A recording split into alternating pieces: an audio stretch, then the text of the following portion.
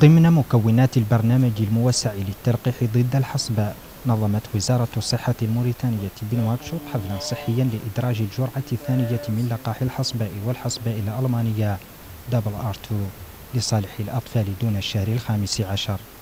إدخال الجرعة الثانية ضد الحصباء يأتي هذا العام مع ظهور حالات منها في عدة بلدان إفريقية من بينها بلادنا حيث تزايدت خلال السنتين الأخيرتين وفي المناطق الأكثر هشاشة. حسب الجهات الصحية. وأنتم تشرفون اليوم على آه، انطلاق آه، آه، إدخال الجرعة الثانية ضد مرض الحصبة. مشيدا بأهمية إدخال هذه الجرعة في حماية الأطفال بشكل عام وبالخصوص أطفال الأسر الهشة والتي بالطبع سيؤدي هذا إدخال هذه الجرعة إلى تعزيز منظومة منظومتنا الصحية وتهدف وزارة الصحة الموريتانية بالتعاون مع منظمة الصحة العالمية إلى توفير برامج فعالة لمواجهة الحصباء عبر توفير اللقاح بجرعتين لكل طفل وفرض الرقابة على المختبرات إضافة إلى الحملات الصحية التوعوية. Ce plan souligne l'importance de disposer de systèmes solides de vaccination de routine.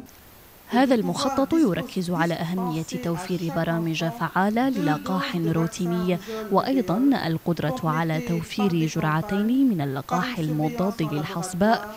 والقيام بحملات تحسيسية ورقابة المختبرات والتكفل التام بالمصابين بداء الحصباء سيد الوزير تعزيز اللقاح الروتيني أمر بالغ الأهمية لأنه يشكل العنصر الأساسي الذي يسمح بالحفاظ على مناعة جيدة وعالية بين الشعب ضد الحصباء كما ينبغي أن نذكر أنه من أجل اجتثاث الحصباء ينبغي أن تشمل التغطية 95% والمحافظة على هذه النسبة أو زيادتها.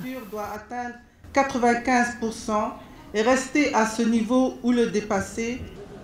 ويعد مرض الحصباء من الأمراض المعدية المصنفة بمشكل صحي عمومي إذ يتسبب في تشوهات خلقية للأطفال في حالة إصابة الأم الحامل به. إضافة إلى مضاعفات خطيرة من بينها العمى والتهابات الجهاز التنفسي.